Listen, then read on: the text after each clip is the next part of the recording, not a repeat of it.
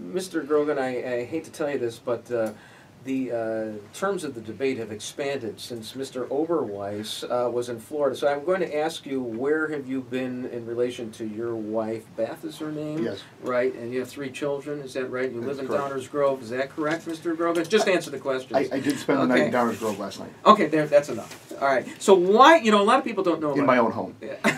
there we go. Although you were telling me before that you did spend the night in the car recently. Yeah, a couple weeks ago, driving back from uh, Effingham, there was an ice storm. Watch It your language. Sorry.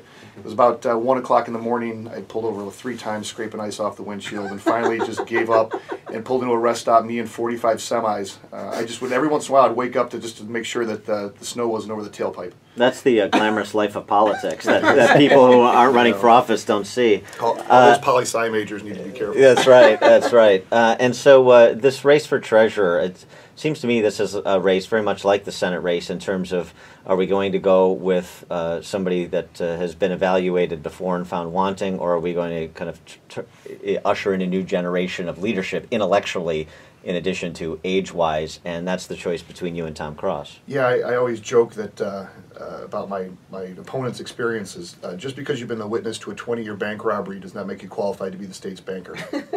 That's see, he's, That's yeah, enough. Yeah, we don't that's, need air that's a anymore. good tagline. That's Thank a, you very much. that's Your a- cars need to be needs to be warmed up right now. That's especially a good tagline coming in from a CPA. You normally don't get that kind of color. Oh no, I've spoken before the Illinois CPA Society. Oh my God. Uh, boy, Oh. I don't know who I feel more sorry for. Right. Uh, and so Tom Cross, though he is, even though he's been uh, in the General Assembly for 20 years, and uh, as I call him, the architect of the super minority in the House, uh, he, he is running against the status quo. So I understand from his uh, correspondence. yeah, I guess I'm the establishment. Um, it's, it's fascinating that, that somebody you know, who took us from, what, 54 seats to 47, uh, you know, decides that uh, he needs a promotion. Uh, there's, a, there's a little riddle we tell around the state is uh, how many times do you have to get beat by Mike Madigan to deserve a promotion? And and so what's the difference between you and Cross other than uh, you're qualified? Oh, objection. Leading All right, the witness. Sustained. Yeah. All right, move on. Answer the question. You know, I, I actually want to be treasurer. I think is another important thing. um, I, I like I'm just using this job till my next Right. TV gig. Yeah, Go I- ahead, Mr. I mean, I, my plans are not to make the uh, the treasurer's office um, a version of the attorney general's office with training wheels. um, I mean, his platform literally is to sue the other parts of government, um, which is about as ludicrous as anything. I mean, only a career politician would think you can sue your way out of a fiscal crisis. Well, and if he was going to do that, he's had 20 years to do that. We, we've had Republican treasurers for 16 of the last 20 years, and all of a sudden the magic bullet is discovered that, oh, we just go to a court. What, what I, I always laugh is so that the Constitution says you're supposed to balance the budget, and the legislature doesn't do it. And so now a judge says it. So it's kind of like, no, no, I double dare you to balance the budget. Hey, Dan, Dan, who's the funnier? Wasn't Newhart an accountant? Yeah. Can you talk Sure. off uh, King Kong off the skyscraper right now? I think uh, just do a bit right here. Uh, l- let me ask you, Mr. Grogan. Will you follow uh, GAAP? Uh, for those of you who don't know, Oh, GAAP accounting. Oh, generally accepted Yeah. accounting principles. Uh, okay. Do you promise uh, to do that, I Mr. promise Grogan? to be an advocate for that. But the interesting thing about what am I talking about? Mr. governmental Grogan? accounting, Yes. by definition, is has two sets of books. Okay. You know, Sure. if you, Of course. if you do it right, you have two sets of books. Yes. Uh, sure, you can't, you can't, can't keep the actual book uh, available for It's- public uh, No. scrutiny. No, of Oh course. my goodness. Uh, talk a, talk a little bit uh, more generally about the race too. I mean, look, the treasurer's uh, office. I know you said you want to be treasurer, but we've had some treasurers in the past who've used that uh, office as a stepping stone to run for governor. For example, Judy Baar Topinka did it. Dan Rutherford is doing it this cycle. Pat So- Quinn. Pat Quinn, uh, good, another good one. Uh, so, so people uh, should be interested uh, in kind of your range of views in terms of are you a conservative, are you a Sure. moderate, and how do you compare Sure. to Cross? Sure. I I always start off by saying, you know, while these issues don't have anything to do with the office, uh, people do have a tendency to pass through there.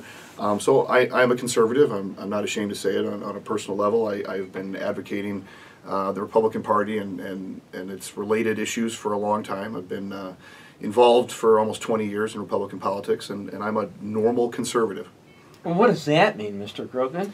It means I actually brush my teeth in the morning and Uh. you know things like that. A three-dimensional human being. and, Yeah, yeah, and I'm quote unquote I'm funny for an accountant, I guess I'm told as well. But no, I, I think I'm, you're funny for a regular Joe, or you know, somebody who doesn't even have a CPA. Just Right. your garden variety bookkeeper. And, and really for Yeah. someone who's a certified fraud examiner as well, right? And it seems like that would be appropriate for state government. Right. Uh, what, uh, so tomorrow, as people are contemplating going, uh, who they're going to make, uh, the choices they're going to make when they go to the polls, what's the question that you want to implant in people's minds when they think about you versus Cross in this primary election? Uh, when they hear Bob Grogan, I want the echo to be CPA um, and to know that you know I'm qualified. You know, people always ask, you know, why are you running for office? And I tell them if qualified people don't run, lawyers do. Do you think over?